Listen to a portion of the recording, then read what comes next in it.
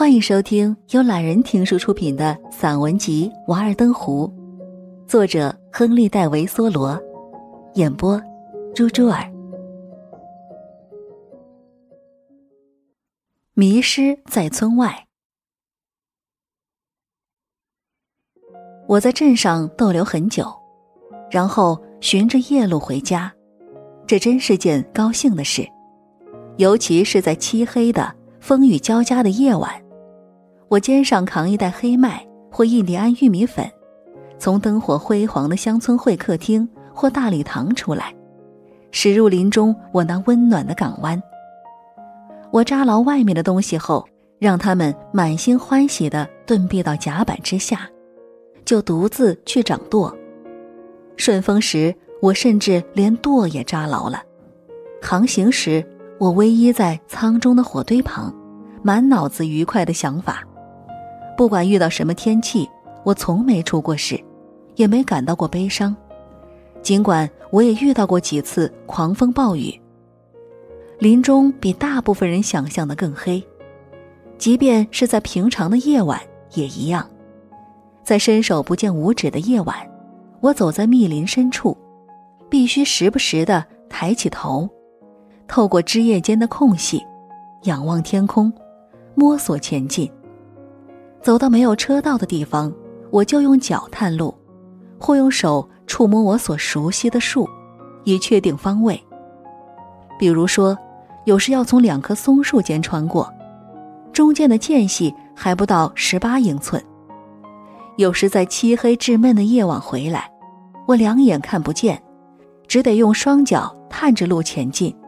梦游一般，直到深夜才跋涉到家。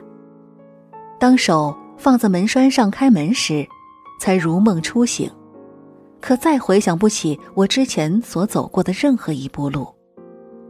我想，也许身体的主人即使把它抛弃，它也会自己找回家的。这根本不用依靠什么，就像手也可以摸到嘴一样。好几次。当一个客人偶然一直待到晚上，而且是很黑的夜晚，我只得把他送到门后的小路上，并告诉他怎么走。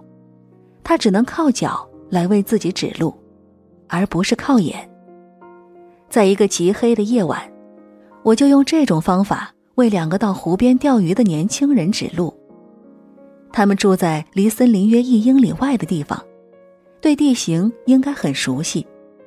一两天后，其中一个人告诉我，他们大半个晚上都在林子里绕来绕去，其实自己的住处就在附近。直到快天亮时，他们才摸到家里，期间还碰到几场阵雨，树叶都被淋湿了，他们自己也被浇成了落汤鸡。我还听说，在漆黑的夜晚，许多人甚至在村子里的大街上都迷路了。这夜色如此之浓，简直就像谚语说的，可以拿刀子一块块切开。那些住在郊外来镇上办货的人，不得不留在村上过夜了。还有一些绅士淑女出门访客，才走出去半英里，就得用脚来探路，根本不知道何时该转弯。不论何时在林中迷路，都是一种惊奇。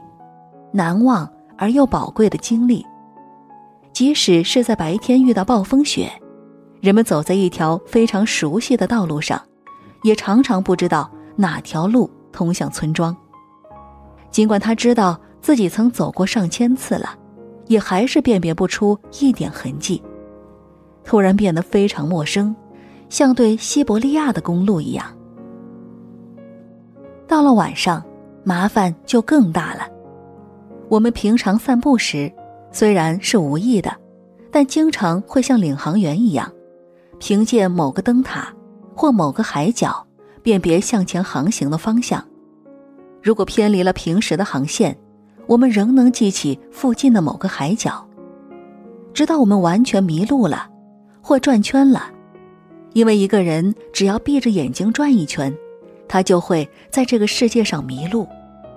我们才会真正领略到大自然的广阔与奇特。不论是从梦中醒来，还是从茫然中清醒，每个人都该经常在醒来后，看看罗盘针，直到我们完全迷失了，或者说，直到完全失去了这个世界，我们才会开始发现自我，开始意识到自己身在何处，才会意识到与我们无穷无尽的种种关联。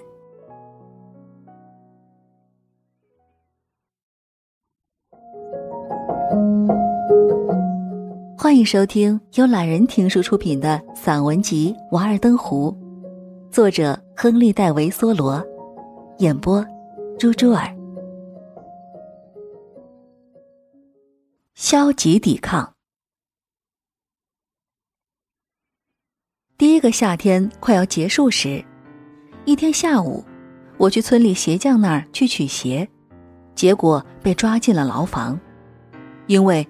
我前边在哪儿曾提到过，我既不纳税，也不承认这个州的权威。这个州在参议院门口，像卖牲口一样贩卖男人、女人和孩子。我到树林里去，并不是为了这个目的。可是，一个人不管走到哪里，如果可以的话，人们都会用那些肮脏的机构追袭他，抓住他，把他们束缚到他们那令人丧失希望的共济会中。原本我的确可以顽强的反抗，多多少少会取得一些成效。我本可以疯狂的抵制社会，可我更愿社会疯狂的来抵制我，他才是绝望的一方。但是我第二天就被释放了，还拿到了我那只修补好了的鞋子。回去时路过黄岗山，正赶上月菊成熟，我美美饱餐了一顿。我再没受过其他任何人的骚扰，除了这个州的代表之外，我没有锁，也不用门栓，除了存放文稿的书桌、窗户或插销上，甚至连颗钉子也没有。不管是白天还是夜里，我从来不锁门，即使出去好几天也一样。那年秋天，我去缅因森林住了两周，也照样不锁门。我的房子比被列兵守护的东西还要受人尊敬。疲惫的游人可以在我的火堆旁休息、取暖；爱好文学的人还可以翻看一下桌上的几本书。还有那好奇之人，打开那扇橱门，看是否还有剩余的饭菜，看看我晚饭吃些什么。尽管各个阶层的人都从这里取道去湖畔。却并未给我带来严重的不便。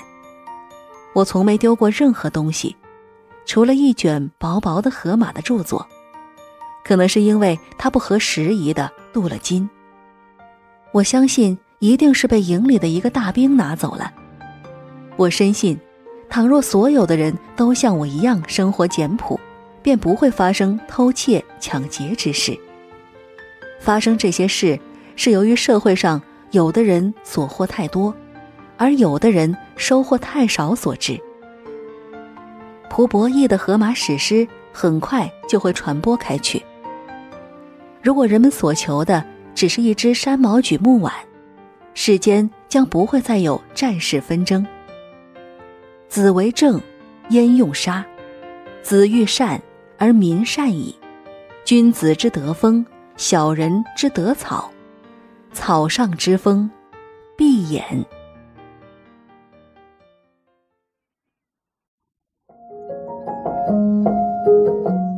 欢迎收听由懒人听书出品的散文集《瓦尔登湖》，作者亨利·戴维·梭罗，演播朱朱儿。湖畔垂钓，有时。我厌倦了逢场交际与闲言碎语，厌倦了村子里所有的朋友，就越过平时游荡的界限，向西边更遥远、更荒芜的地方走去。走向新的树林、新的牧场，或者在太阳落山时跑到黄岗上，用黑莓、蓝莓做晚餐，再储存一些备用几天。这些果子不会把它们的真正风味奉献给那些在市场上购买它们，或为了出售而培植它们的人。只有一种方法能真正享用它，可极少有人那样去做。如果你想了解黑莓的风味，就去问那些牛仔或鹧鸪。如果没有采摘过黑莓，却以为自己尝到了它的真实滋味，这是一种普遍的错误。黑莓从未到达过波士顿，尽管它们在那里的三座大山繁殖生长，却从不为人所知。当它们在货运车中磨来蹭去时，果实的芳香与精华便随着花儿一同消散了，剩余的只是一堆渣子。只要永恒的公正还在主宰世界，就不会有一颗纯洁的黑莓能从山野进入那里。偶尔，我干完一天的活之后，会去找某个愤世嫉俗者。那人一大早就开始在这湖边钓鱼。一动不动的默默坐着，像一只鸭子或一片漂浮的落叶。他思考着各种哲理，而当我到达后，他往往能得出结论，认定自己属于古修道教派。还有一个年老的人，他是一个非常出色的钓者，他精通各种木工活。看到我在这里盖了这所房子，他非常高兴。还以为是专门为渔民提供方便的，我也很高兴看他坐在我门前整理钓丝。偶尔，我们也会一同泛舟，他坐在船的一头，我坐在另一头，我们之间并没有太多的言语，因为最近这几年他耳朵有些聋了，但他有时也会哼唱圣诗，与我的哲思极为和谐。我们之间的交流非常融洽，回想起来，这比用语言交谈更令人愉悦。当我没有交流对象时，一般情况下会用船桨敲击船舷，让那个声音在树林上空盘旋回荡，像野兽管理者激起兽群那样。我一直敲击，直到每到灵谷山峦都响起咆哮之声。在温暖的夜晚，我经常坐在船上吹长笛，看着鲈鱼在我四周游来游去，仿佛被我的笛声陶醉一般。月亮游荡在层叠起伏的湖底，那里散落着森林的片片碎迹。以前在漆黑的夏夜，我时常和一个同伴一起来这湖上探险。我们在近水边燃起一堆火，想以此把鱼引来，又在鱼钩上挂一串虫子做诱饵，钓上一条条鳕鱼，这样一直弄到深夜，我们再把燃烧着的木柴高高甩向空中，它们就如同流星焰火一般，坠落到湖中，伴着阵阵嘶嘶声熄灭了。我们很快没入全然的黑暗之中，便一边摸索，一边哼着小调，穿过黑暗，再次回到人类出没的地方。可如今在湖岸边，我已有了自己的家园。有时我待在一个农家的客厅里，直到一家人都离开去休息了，我才回到林子中。部分原因是为了第二天的食物。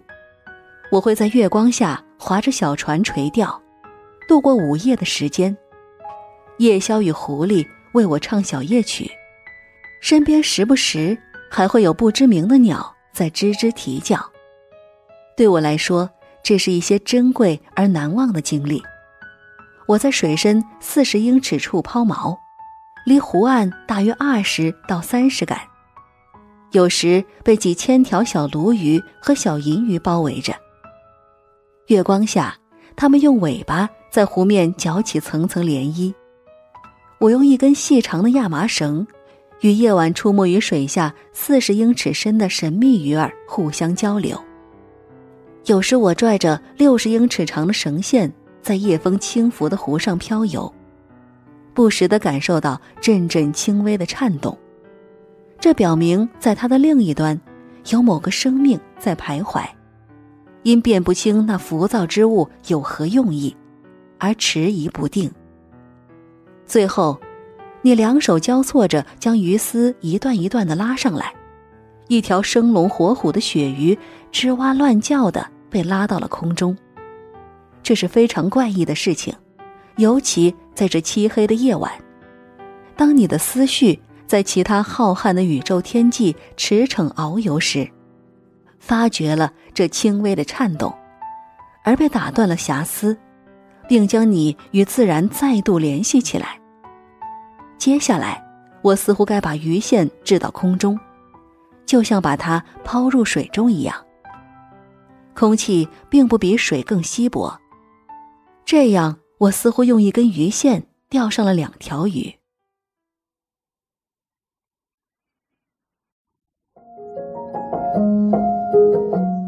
欢迎收听由懒人听书出品的散文集《瓦尔登湖》，作者亨利·戴维·梭罗，演播猪猪儿。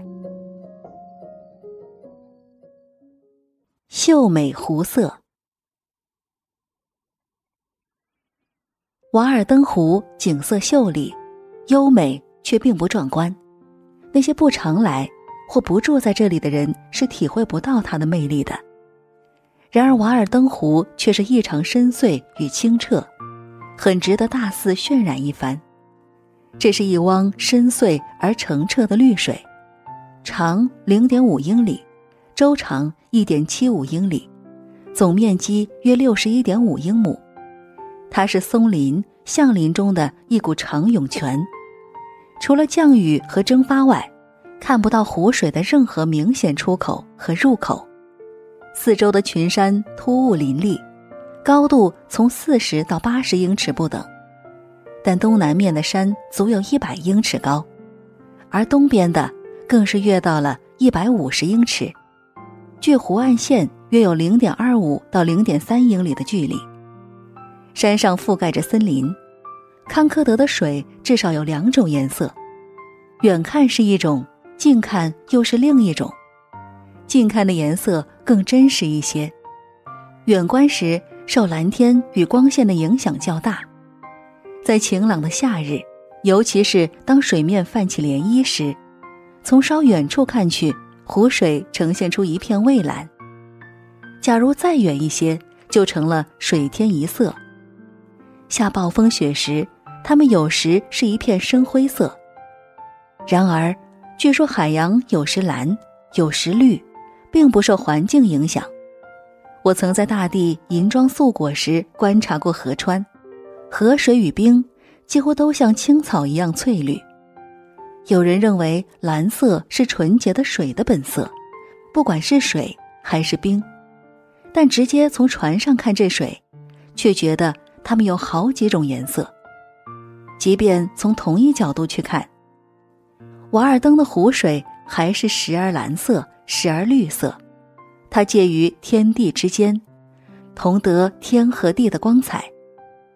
从山顶望去，水天一色；从湖边观看，靠近沙滩的湖水首先是泛黄的，然后有点发绿，再往深处，湖水的颜色就更绿了，全部是暗绿色。有人认为这是青葱草木的倒影。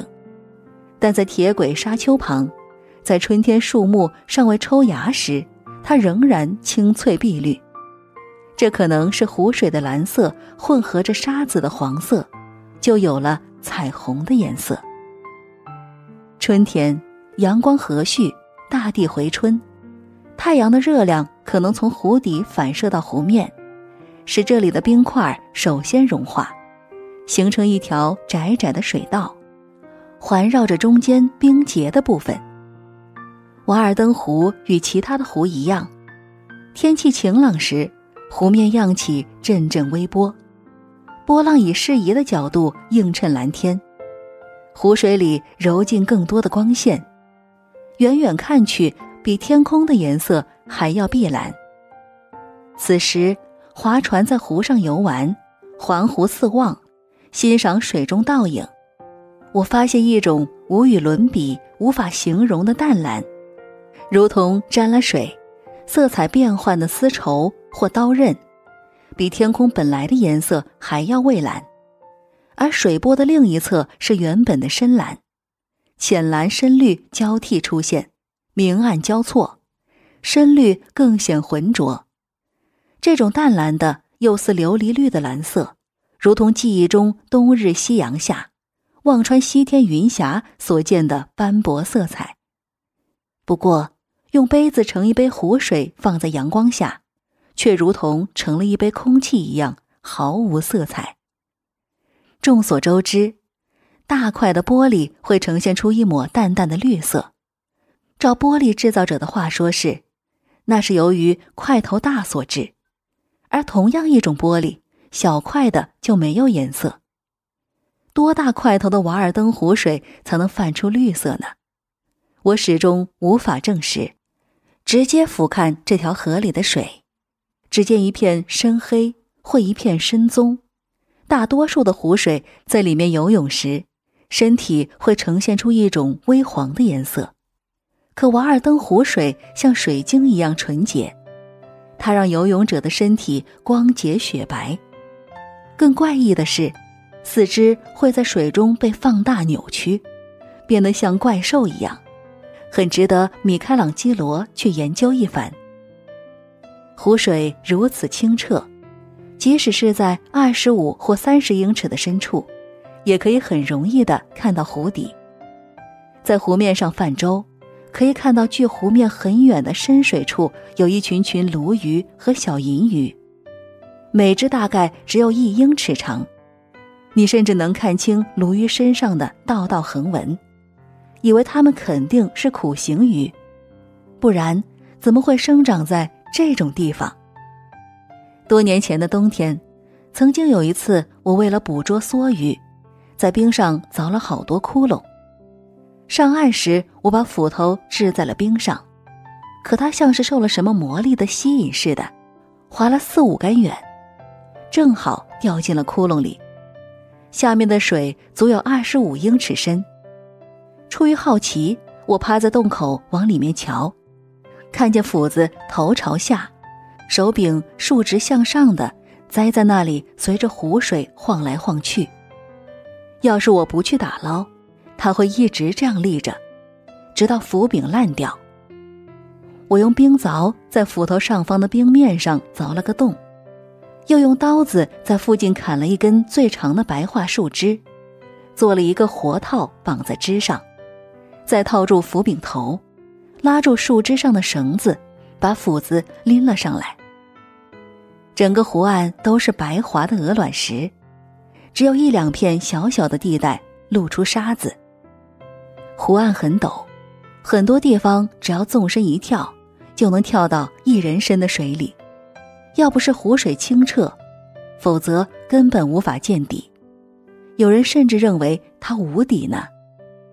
湖水没有一丝浑浊，漫不经心的观察者会以为里面根本没有一处地方长了杂草，除了最近被淹没的小块草地，那本也不属于水中植物，再也看不到半棵菖蒲、灯心草或者白睡莲、黄睡莲什么，能看到的最多只是一些小小的心形叶片与禾寮草，可能还有一两片。眼子菜，但是水里游泳的人可能却看不到这些植物，因为它们清澈透明，像周围的水一样。岩石伸到水里有一两竿远，湖底是洁白的沙子，最深的地方有些沉淀，可能是经过无数个秋天，从远处飘来的落叶腐烂之后形成的。此外，还有鲜绿的水藻。即使是在冬天最冷的时候，你拔起毛也能带出一些来。这里还有一个与它极为相似的湖——白湖，位于西边二点五英里左右的九亩角。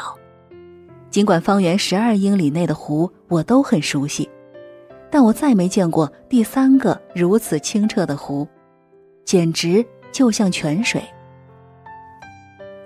一代代的民族都相继在这里饮水，赞美它，测量它，然后又都悄悄的消失，而湖水还是翠绿清澈依旧。这是一股永不间断的泉水，可能在亚当与夏娃被逐出伊甸园的那个春天的早上之前，瓦尔登湖就已经存在了。从那时起，薄雾夹着南风，送来阵阵温暖的春雨，在湖面上漾起涟漪。湖里有成群结队的野鸭与野雁，并未听说过任何堕落之事，他们只知道沉醉于这纯洁的湖水之中。那时，湖水开始涨落，清澈透明，和现在色彩一样，染着天空的颜色。成为举世无双的瓦尔登湖，成为天路的蒸馏器。有谁知道多少失传的民族诗章是从此处得来的灵感？有谁知道黄金时代曾有多少山林仙女在此地逗留？这是康科德桂冠上最闪耀的一颗明珠。最先来到这里的人可能留下了一些足迹。我惊讶的发现。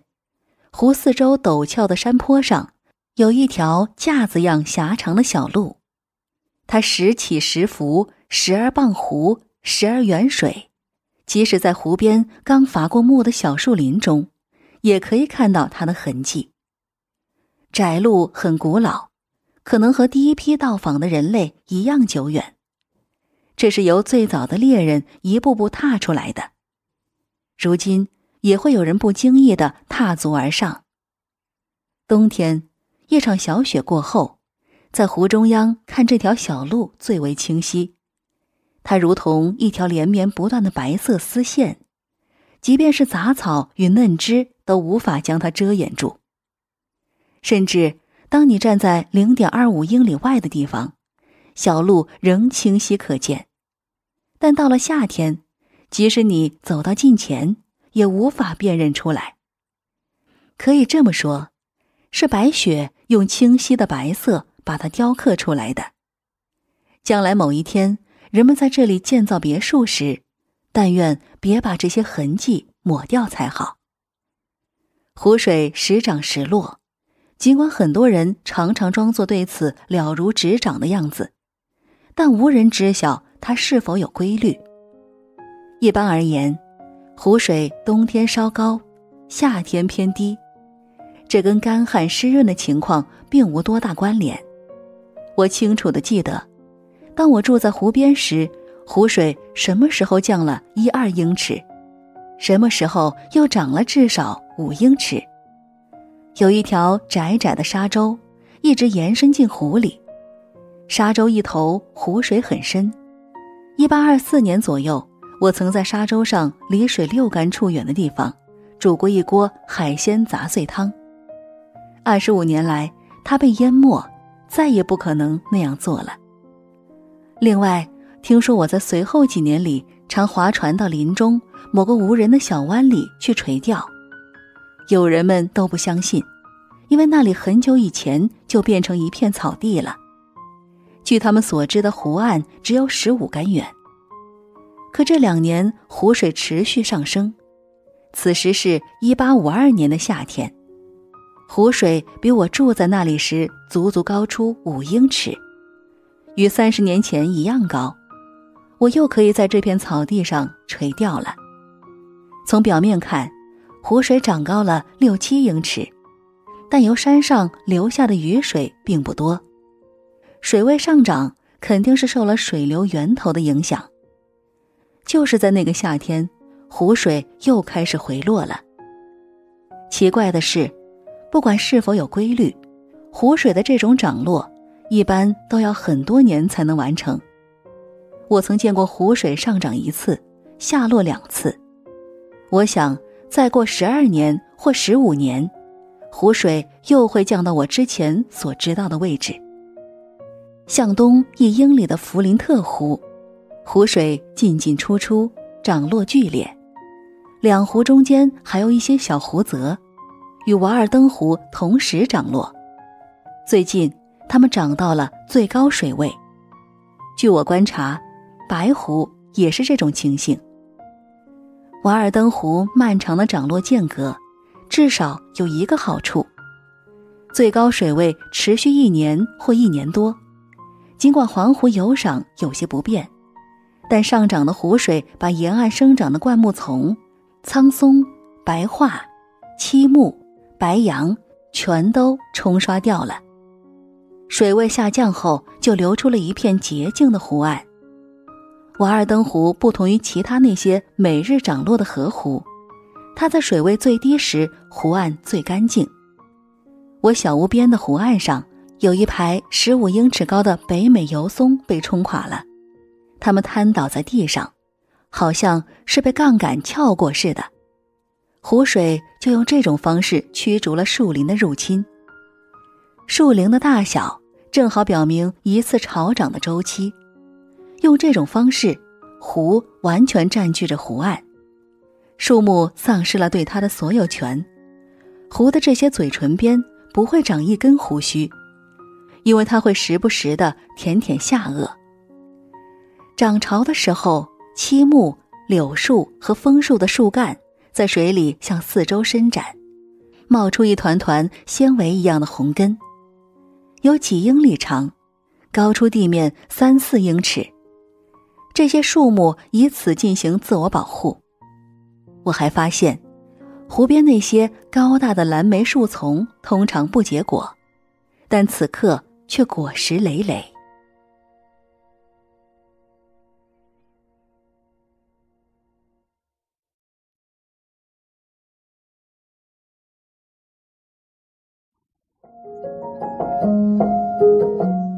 欢迎收听由懒人听书出品的散文集《瓦尔登湖》，作者亨利·戴维·梭罗，演播猪猪儿。瓦尔登湖的由来，湖岸何以铺设的如此整齐？有人觉得迷惑不解。镇民们都听过这样一个传说：最年长的人。说他是小时候听到的，他告诉我，古时候印第安人在这里的一座山上举行庆典，山峰突然高耸入云，犹如瓦尔登湖深深的沉入泥土。根据传说，他们做了许多渎神之举，其实印第安人从没这么做过。结果庆典进行时，突然天崩地裂。只有一个叫瓦尔登的老妇人逃过此劫，因此这个湖就用她的名字来命名。有人猜测，天崩地裂之时，石子四处滚落，就形成了如今的湖岸。不管怎样，这里从前没有湖，如今却有了，这是可以肯定的。这个传说与我以前提到的。那个老移居者的说法并不矛盾。那个老移民清楚地记得，他初到此地时，拿着碳水杖，看到草地上腾起薄薄的水汽，碳水杖也稳稳地指向地面，便决定在此处掘井。至于石头，很多人认为地面的震动并不能说明石块的来源，但我发现。山的四周到处都是这样的石头，所以，在紧挨穿过湖岸的铁轨两旁，不得不筑起一座座防护墙。而且，湖畔越陡的地方石头越多，因此不幸的是，这传说对我来说也没有什么神秘可言了。我找到了铺设石子的人。如果这湖……不是以某个英国的地名来命名的，例如塞弗瓦尔登，那么也可以推测说它是由最初的围堵湖转化而来的。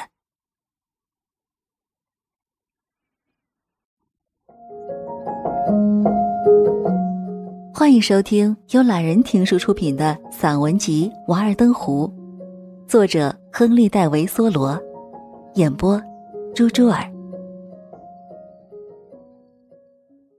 天然水井，湖是我的天然水井，湖水终年澄澈，一年有四个月都特别凉。我相信，即使它不是镇上最好的水井，也不会比其他任何一口逊色。冬天暴露在空气中的水，自然要比被大地裹护的井水或泉水寒冷。我在小屋里从下午五点一直坐到第二天中午，温度计的温度有时是华氏六十五度，有时是华氏七十度，这可能与太阳照在屋顶上有部分关联。而把从湖里打来的水放在屋里，也只有华氏四十二度的温度，比村里最冷的一口井里刚打出的水还要低一华氏度。沸泉的温度在同一天是华氏四十五度，在我测量的各种水温中，它是最高的了。但我知道这沸泉到了夏天又是最冷的，因为泉水不能流动，无法进行热量交融。而且到了夏天，大部分湖都有阳光照射，会很温暖。可瓦尔登湖很深，阳光无法照射到里面。酷暑时，虽然有时我也会跑到附近的泉边去汲水，但我通常会从湖里汲一桶水，放到地窖里。到了晚上，地窖就会变得很凉爽，并且可以一直持续到第二天。一周后，仍会像刚汲上来时一样清冽，还没有一丝抽水机的味道。谁想在夏天到湖边露营一周？只需要在帐篷背阴的地方，在几英尺深的地下埋一桶湖水，就不再需要冰块这种奢侈品了。有人曾在瓦尔登湖中捉到一条七磅重的梭鱼，且不去说其他的鱼了，它游得特别快，甚至都把鱼线带走了，钓者都没来得及看清它，但保守估计也有八磅重。另外。被钓上来的鱼还有鲈鱼、鳕鱼，其中某些都超过两磅，又有小银鱼、鳊鱼，少量的几条鲤鱼、两条鳗鱼，其中一条重达四磅。我之所以记录的这么仔细，是因为鱼的价格一般与其重量有关，并且这两条鳗鱼也是我在此地见到的唯一两条。另外，我还模糊的记得有一条小鱼，五英寸长，两侧是银灰色的，脊背带着一些绿色，有点像鲤鱼。我提起它，主要是想把事实与传说连接起来。不过，瓦尔登湖的鱼并不多，梭鱼虽然也不是很多，但却是它最值得夸耀的产品。有一次，我趴在冰上。至少看了三种梭鱼，一种又长又扁，呈银灰色，与在河中抓到的梭鱼极其相像；另一种金光闪耀，带点绿色，生活在深水区，是此处最常见的一种；还有一种呈金黄色，很像前一种的样子，但两侧布满深暗的小棕斑或小黑点。还带着一丝暗淡的血红色，与鳟鱼相似。学名 Reticulatus，跟它对不上号，用 Gadges 倒比较恰当些。这类鱼很结实，比表面的样子要重很多。瓦尔登湖里的小银鱼、鳕鱼、鲈鱼，要比其他水域的鱼干净、漂亮、健壮，因为湖水很纯净。所以这里的鱼也明显不同，鱼类学家或许还能从中找出许多新品种呢。里面还有纯种的青蛙、乌龟和少许淡菜，也有麝香鼠和雕鼠留下的足迹。偶尔还有泥海龟造访此地。有时我早晨推舟离岸时，竟把一只躲在船下过夜的庞大泥海龟的好梦给搅乱了。春秋时节，常会有野鸭和天鹅来到这里。白肚皮的燕子掠过湖面，斑玉整个夏天都在布满石头的湖岸踉跄而行。有时栖息在白松上俯瞰着湖面的白鹰还会被我惊起，可我却怀疑此处是否有海鸥飞来，就像它们曾经飞去黄冈一样。潜水鸟每年最多只会来一次。看，这就是常来这里的所有动物了。风平浪静之时，在靠近东岸的地方，水深八英尺或十英尺处，在湖上其他位置也可以。你从小船上可以望到一堆堆圆形的东西。高约一英尺，直径约六英尺，那是比鸡蛋还小的石子堆起来的。它的四周都是沙子。开始你会怀疑那是印第安人为了某种目的，在冰上用石子特意堆成这个样子。这样，在冰融化后，它们就能沉入湖底了。可石子堆得太有规则，而且有些显然不是很古老。它们跟河里某些石堆很像，可这里并没有胭脂鱼和巴木鳗。我不知道这是哪些鱼堆起来的，可能是银鱼的巢吧。这让湖底笼上一层令人愉悦的神秘面纱。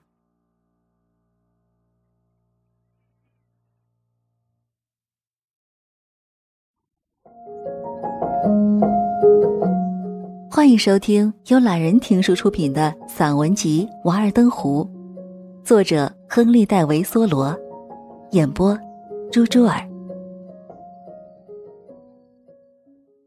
湖面风景，湖岸错落不整，毫无单调之感。在我的记忆中，西岸是纵横交错的深水湾，北岸更为陡峭雄伟。南岸像扇贝一样美丽，一个夹角连着一个夹角，让人感到中间会有一些人类尚未涉足的小湖湾。湖水的四周是挺拔的群山，所以只有站在湖中央才能欣赏到美丽的森林背景，体味其美丽。因为森林倒映在水中，成了最美丽的风景，而那弯弯曲曲的湖岸，刚好成了它最自然。最悦目的边界线，这里毫无生硬或缺陷之处，完全不像林子中被斧头砍出来的空地，或者在湖边垦植出来的耕地。水边有广阔的空间任树木延伸，每棵树都朝向水边，伸展出最强有力的枝杈。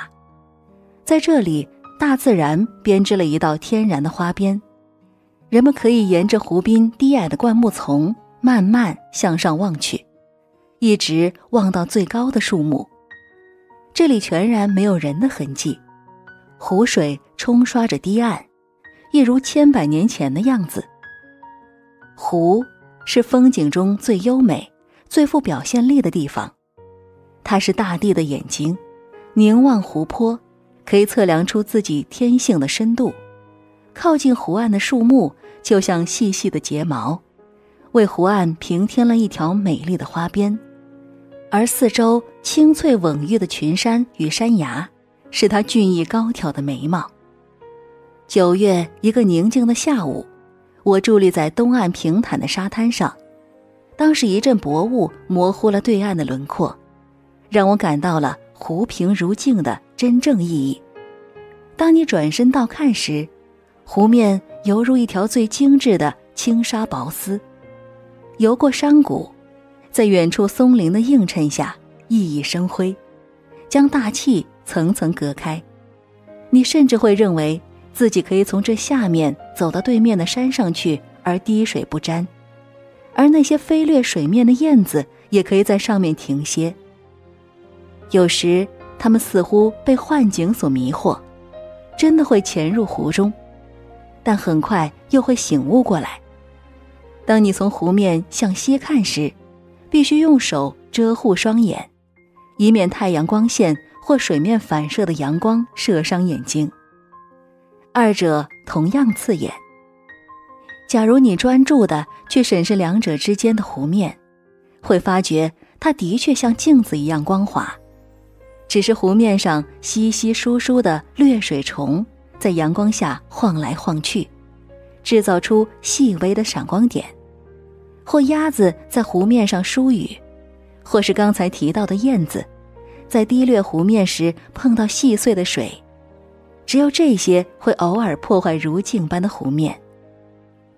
远处可能会有一条鱼跃出来，在空中划出一道三四英尺高的弧线，形成一道湖光。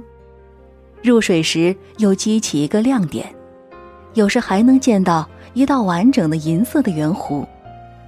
又或湖面不时飘着一根荠草，惹得鱼儿朝它一跃，又是一层水波，就像玻璃溶液，虽已冷却，但尚未凝结。即使上面仅有一丝尘埃，也是纯洁而美丽的，如同玻璃中的瑕疵。你常常还可以看到一片更平滑、更深暗的水，好像一张无形的蛛网，把它与别的水域隔开似的。成了湖泽仙女在水上歇息的栅栏。从山顶俯瞰湖面，可以看到每个地方几乎都有鱼儿在跳跃。在这平静的水面，任何一条梭鱼或小银鱼的腾跃，都能明显的破坏整个湖面的均匀，真是令人惊叹。如此简单细微的一件事，竟可以如此精巧的呈现出来。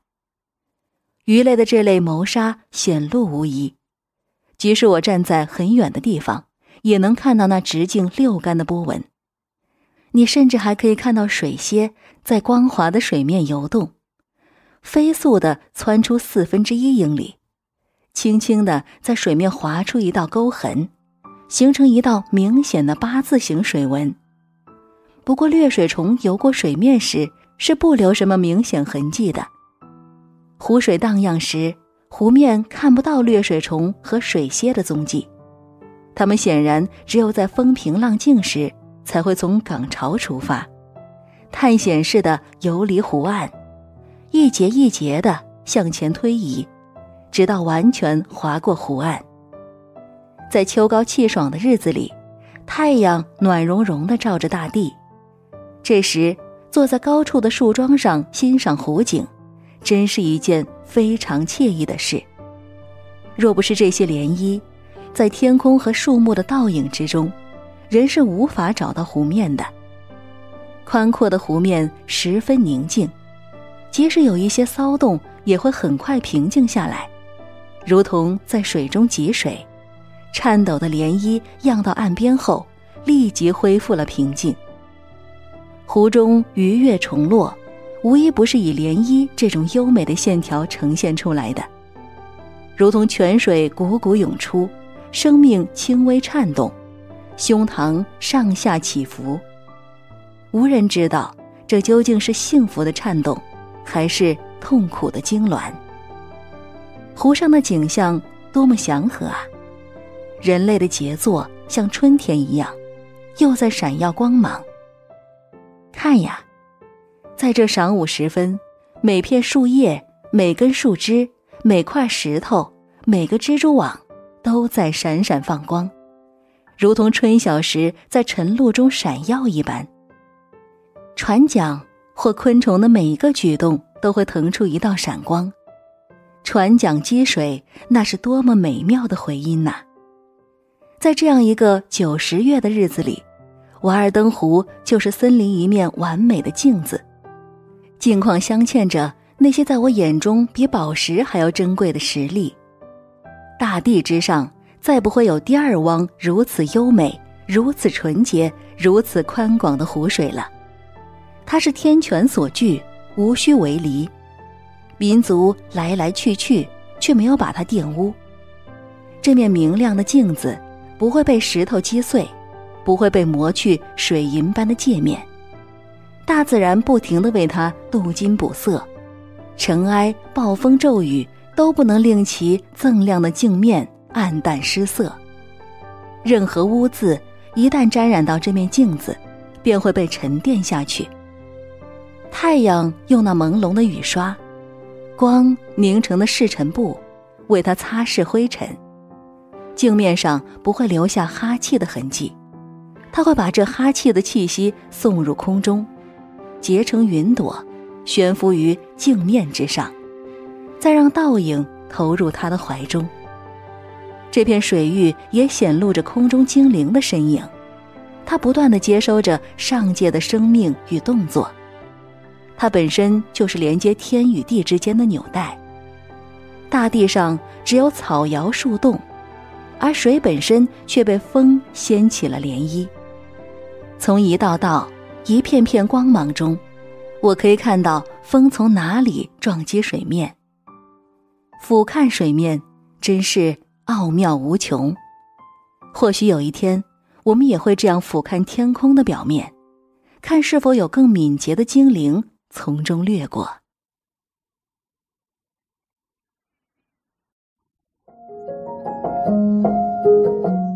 欢迎收听由懒人听书出品的散文集《瓦尔登湖》，作者亨利·戴维·梭罗，演播猪猪儿。戏水鲈鱼与湖畔老树。十月下旬，霜冻来了，掠水虫和水蝎终于失去了踪迹。到了十一月，平静的日子里。湖上通常不会有什么东西再来搅扰水面。在十一月的某个下午，持续数日的暴风雨过后，天空依旧被云雾完全笼罩着。我发现湖水特别平静，甚至连湖面也看不到。虽然它不再映照十月的绚丽色彩，却折射出十一月湖四周暗淡的山色。我在湖上划船而过。虽然尽量轻缓，但所激起的涟漪仍扩散的超出我的视野，在倒影上揉起一道道零线，但远处湖面上还是波光点点，仿佛是逃过霜冻的掠水虫又在这里聚集了。可能是湖面过于光滑，所以能清晰地察觉从湖底涌出的泉水。我轻轻地滑到那个地方。发现那里聚集着无数小鲈鱼，大约五英寸长，在绿水中泛着青铜色。它们正在那里嬉戏，不时浮出水面，留下一阵阵涟漪，有时也会吐出一串串水泡。湖水清澈透明，看似无底，映照出朵朵浮云，置身于湖上，犹如乘着气球漂浮空中。游来游去的鲈鱼在我眼前盘旋飞翔，像一群群鸟儿在我上下左右徘徊萦绕。鱼鳍像撑满的船帆一样挂在它们四周。湖中有许多这样的鱼，它们显然是想趁冬天尚未冰封大片天光之前，好好利用一下这短暂的时光。因此，湖面偶尔涟漪阵阵。宛若微风吹拂或细雨飘落。当我不经意的靠近而惊动它们时，它们会突然拿尾巴扫起一片水花，激起层层波浪，像有人用毛刷一样的树枝排击湖水似的。然后它们又很快躲到湖水深处去了。最后起风了，雾更浓了，水波开始流动。鲈鱼跃得比以前更高了，露出三英寸长的半个身子。一时间，上百个黑点同时跃出了水面。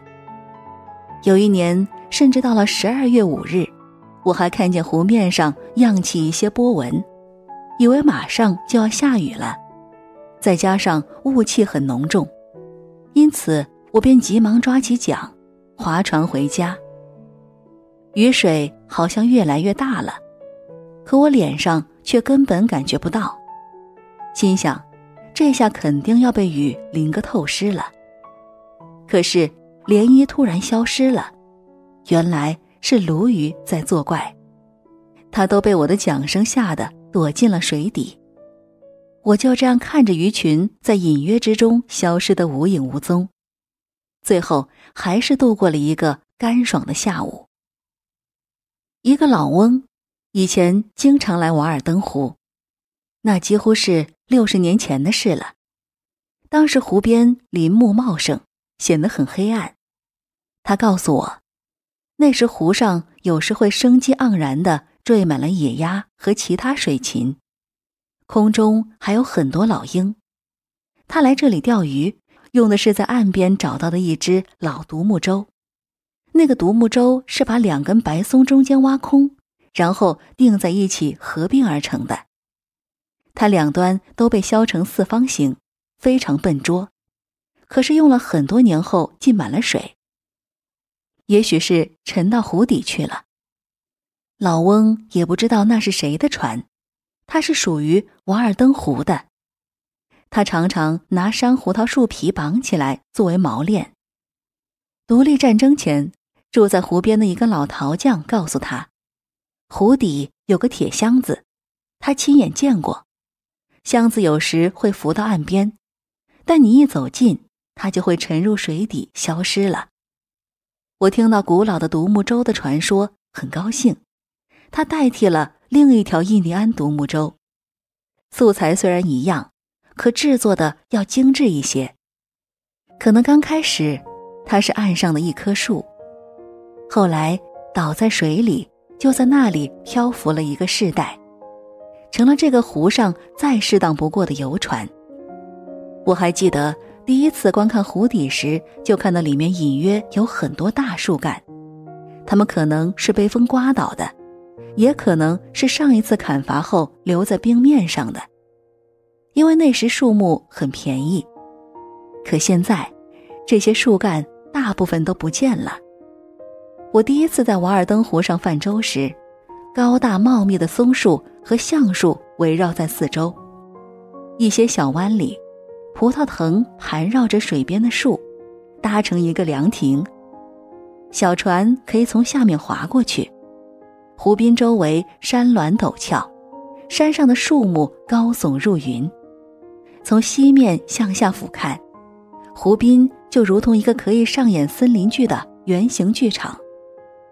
我年轻时的很多光阴就在那里消磨掉了。和风之中，小船漂浮在湖面上，我挥着桨把它划向湖心，然后仰面横卧在船座上，似醒。似梦，直到船碰到了沙岸，才清醒过来。然后我爬起来，看看命运把我推到了怎样的岸上。清闲的日子是最诱人，也是最多产的行业。许多上午我都是这样悄然度过的。我更喜欢这样度过一天中宝贵的时光，因为我很富有。如果不是用金钱来衡量的话。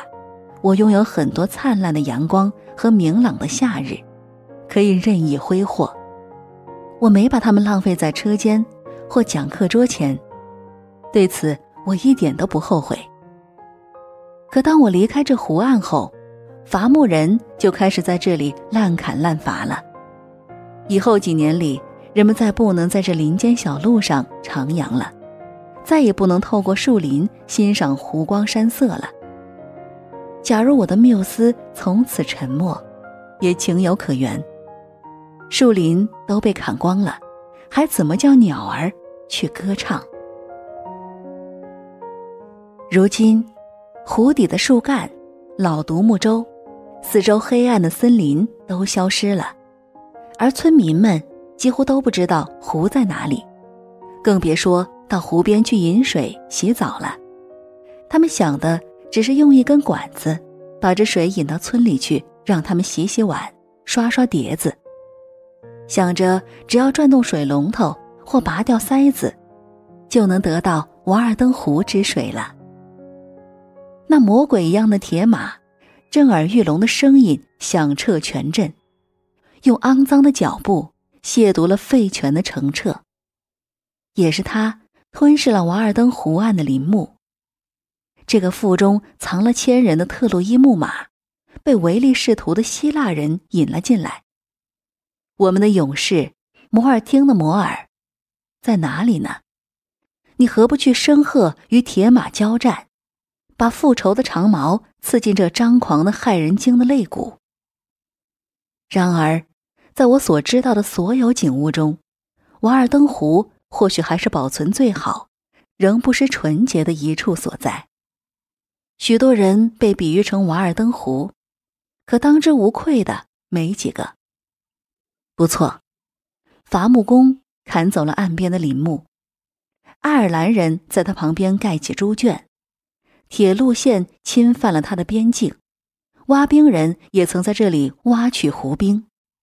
可瓦尔登湖仍没有改变，湖中的水仍是我年轻时所见到的水，所有改变了的只是我自己。涟漪过后，它不留一丝褶皱，它青春永驻，我仍然可以驻足观看燕子像过去一样扑向湖中，衔起一只小虫。今晚，我又想起了他，好像将近二十五年没见他了。啊，这就是瓦尔登湖，就是多年前我发现的那个森林之湖吗？去年冬天，湖边有一片森林被砍伐了，但另一片森林又开始成长，蓬蓬勃勃，一如往昔。往日的思绪浮出水面，同样幸福喜悦的水流涌向他自己，也涌向他的造物主。哦。也有可能涌向我，这一定是勇者的杰作，其间没有丝毫虚饰。他用双手将湖水围起，又用思想将其生化、澄清，并立下遗嘱，将其赠给康科德。我凝视他的脸庞，倒影依旧。我几乎要说：“瓦尔登湖，是你吗？”它不是我的梦。只为了装点一首诗，我再遇不到别的地方，比瓦尔登湖更靠近上帝与天堂。我是他的卵石岸，是他拂掠而过的清风，在我空空的手中是他的水，是他的沙，他那最深邃的源流，高卧于我的思潮之中。火车从来不会停下来。欣赏一下这样的美景。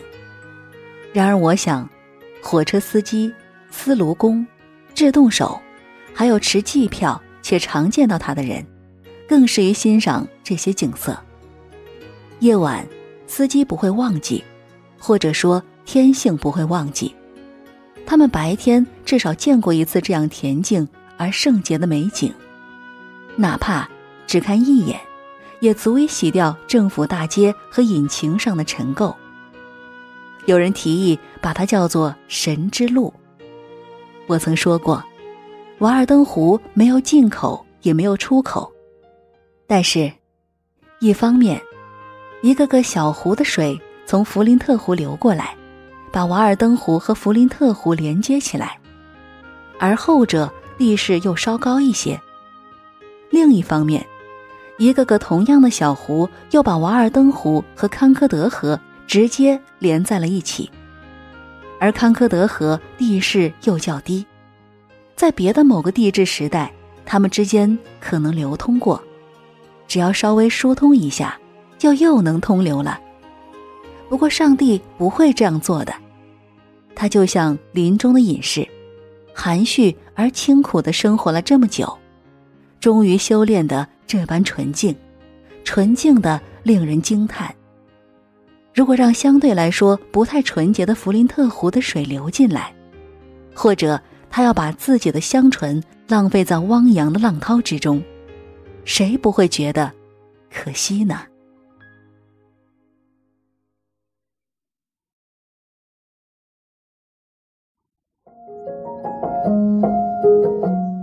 欢迎收听由懒人听书出品的散文集《瓦尔登湖》，作者亨利·戴维·梭罗，演播猪猪儿。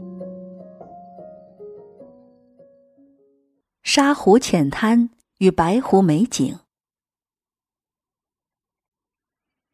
弗林特湖也称沙湖，位于瓦尔登湖以东一英里外的林肯乡，是我们这里面积最大的内陆湖。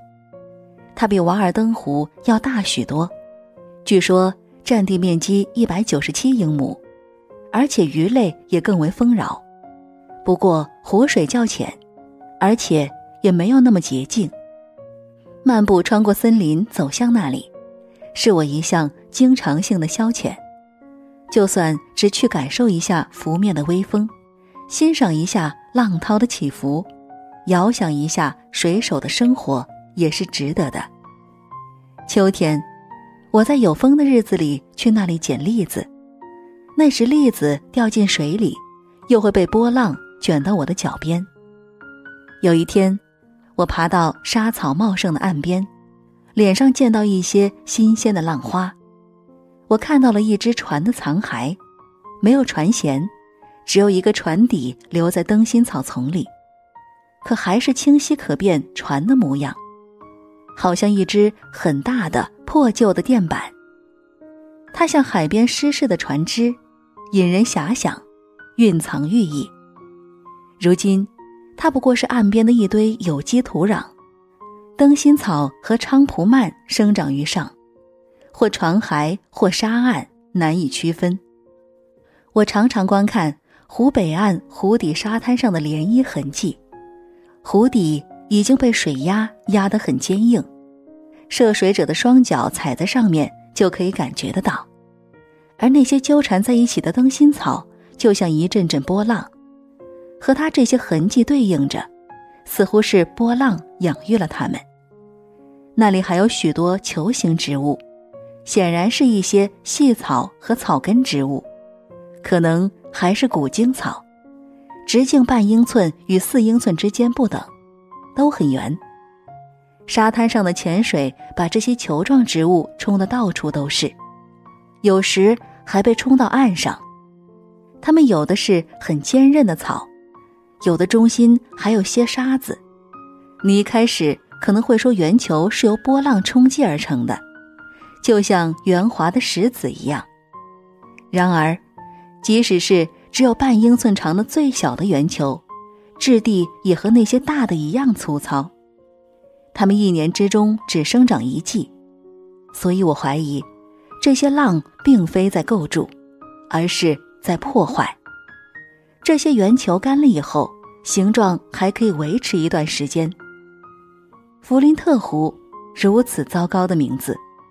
一个肮脏愚蠢的农夫，竟然在这水天之间开垦田地，粗暴地践踏着湖岸，弄得一片光秃。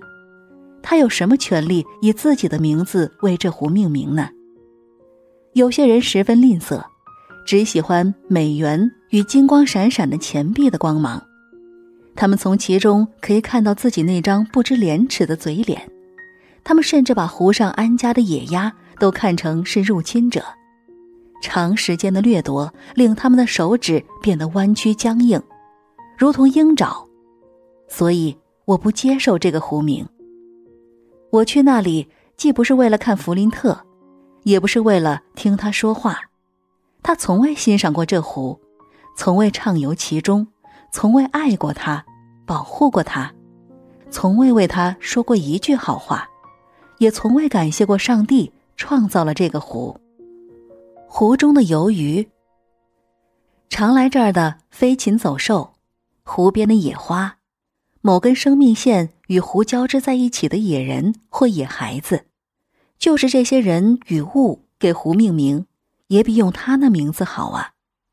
除了那些臭味相投的邻居和法律给他的契约以外，他对这湖根本没有任何权利，他只会想到这湖的金钱价值。它的出现是整个湖岸的灾难，它耗尽了湖滨的土地，甚至还想抽干湖中之水。他只恨这里不是英国的干草地或越橘草坪。确实是，这个湖在他眼中真是毫无价值。如果河底的淤泥能卖钱的话，他一定会把湖水抽干的。湖水并不能推动他的磨坊。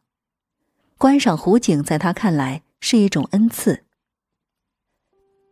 他的劳动我并不尊重，他的农场处处明码标价，如果有利可图的话，他甚至会把风景、把上帝都拿去卖。他像膜拜上帝一样去市场，他的农场上没有自由生长的东西，田地上不产庄稼，草地上不长鲜花。树上不长果实，所有生长的东西只有美元。他不爱果实的美丽，他们只有换成了美元，他才会觉得果实是成熟了。让我拥有能享受真正财富的贫困吧。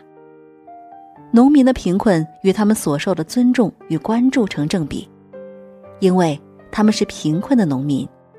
模范农场，那些房子如同粪堆上的真菌，房间、马厩、牛栏、猪圈，干净也好，肮脏也罢，都是臭味相投，人像畜生一样混迹其中。好大一个弥漫粪味和乳酸味的油腻的地方。在文明高度发达的状况里，人的心灵和大脑居然成了粪肥。如同你在教堂的墓地上种植土豆，这就是所谓的模范农场。不不，如果最美的风景要用人的名字来命名，那也只能用那些最高尚、最有价值的人的名字，至少。也得让我们的湖有一个真正像样的名字，像伊卡洛斯海。那里海岸仍旧传颂着英勇的尝试。从我这里到弗林特湖，中间有一个不太大的鹅湖，向西一英里处就是黄港，是康科德的腹地，面积大约七十英亩。黄港再过去一点五英里就是白湖。面积约四十英亩，这就是我的湖泊之乡了。再加上康科德河，就属于我的水域了。他们日复一日、年复一年地研磨着我带去的谷物。自从伐木工、铁路，还有我自己，把瓦尔登湖玷污以后，众湖之中最吸引人的，就该属白湖了。尽管说不上最美丽。却也算林中的明珠。白湖之为白湖，可能是由于湖水清澈，也可能是由于沙石的皓白。这名字很普通，很不显眼，但无论从哪方面说，它都可以说是瓦尔登湖的兄弟，尽管稍逊一筹。但如此相似，你都可以说它们的湖底是相连的。同样的原石湖岸，同样的水色。就像在瓦尔登湖一样，夏季最热的时候，从树林间能望见某些浅湾，会看到湖底的反射，把湖水渲染成淡淡的蓝青色或蓝绿色。多年前，我常常推着车去那里运沙子制作砂纸，此后我便经常来这里。有个经常来这里的人建议叫它绿湖，或许也可以叫它黄松湖。因为大约十五年前，你可以看见许多北美油松的树梢，这种树并不特别显眼，附近的人都叫它黄松。它们从深水的水面冒出来，距离湖边许多杆，甚至有人认为，湖泊曾下沉时，这里过去曾有过原始森林。这棵油松就是那些森林中的一棵。这话早在一七九二年就有人说起过，在马萨诸塞州历史学会的藏书库中，有一部该州公民写的《康科德地方志》，他谈过瓦尔登湖和白湖后，补充道：“逢白湖水位低时，湖心可见一树，虽根部藏于水下五十英尺，恰似生于所立之处，树梢已断。”断处量得直径十四英尺。一八四九年春天，一个住在萨博里靠近湖泽的人曾跟我交谈，他告诉我，大约十或十五年前，他想把这棵树弄走了。他记得这棵树距湖岸有十二到十五竿远，那里的水深足有三四十英尺。当时是冬天，他上午去取冰。决定下午找个邻居来帮忙，运走这棵老黄松。他在冰上锯了一条一直通向湖岸的通道，然后用了牛来托运。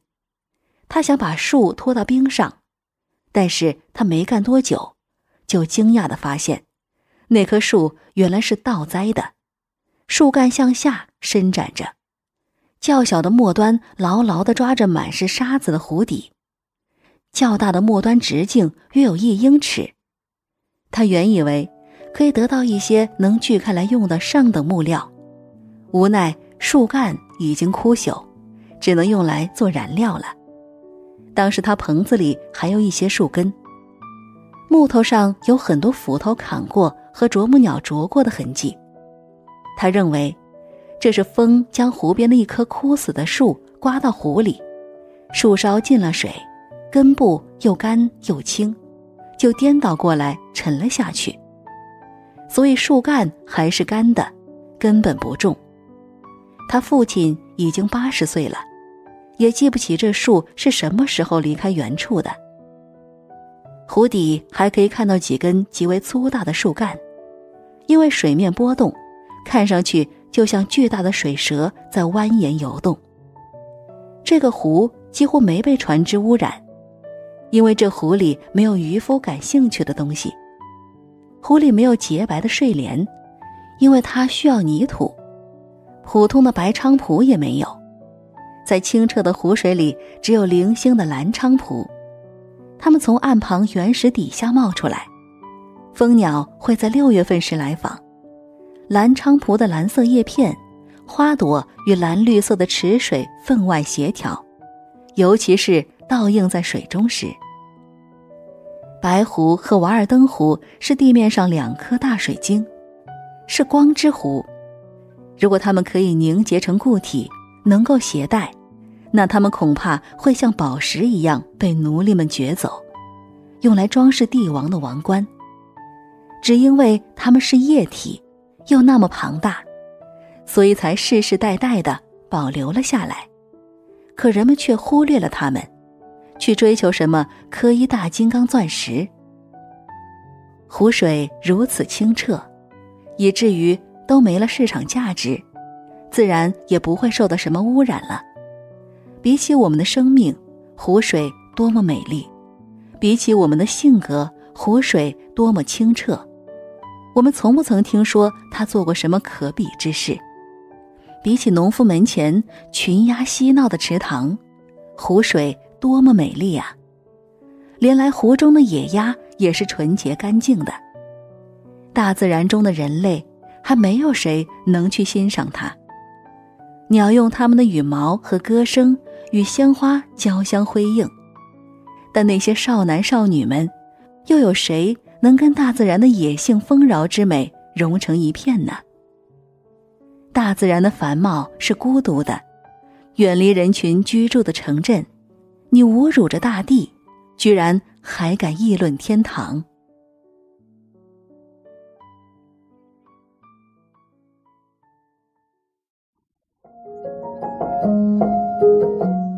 欢迎收听由懒人听书出品的散文集《瓦尔登湖》，作者亨利·戴维·梭罗，演播猪猪儿。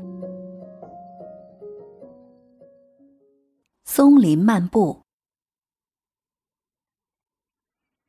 有时我在松林里漫步，它们就好似高耸的庙宇，又似整装待发的舰队。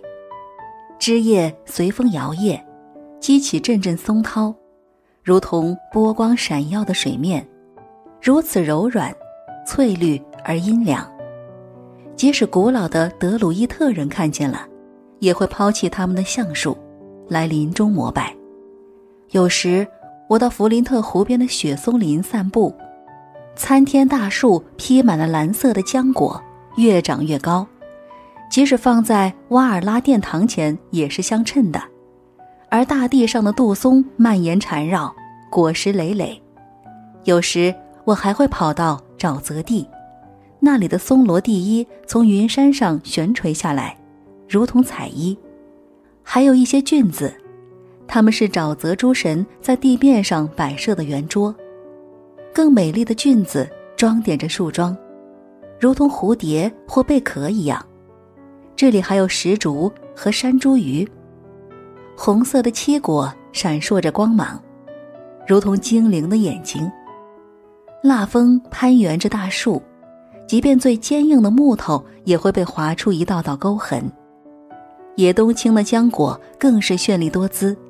还有不少无名的野生果子，金光闪闪，令人垂涎，美不胜收，不是凡人可以品尝的。我不是去拜访某个学者，而是去拜访了一棵棵树，它们要么远远地生长在某个牧场中间，要么生长在森林和沼泽深处，要么耸立在山顶之上。例如，我看到一些较好的黑桦木的标本，直径二英尺，它的远亲黄桦木宽大的黄色长袍，像黑桦木一样发出阵阵幽香。还有山毛榉，树干均匀整洁，优雅的绘满了苔藓，简直是完美无缺。据我所知，在这乡镇一带，除了一些零星散落的树种，只有一片这样的小林子，其中的树木已经很粗壮了。据说，它们的种子是被周围山毛榉果实所吸引的鸽子播下的呢。当你劈开树木，会看到银色的颗粒闪闪发光，非常值得细细观赏。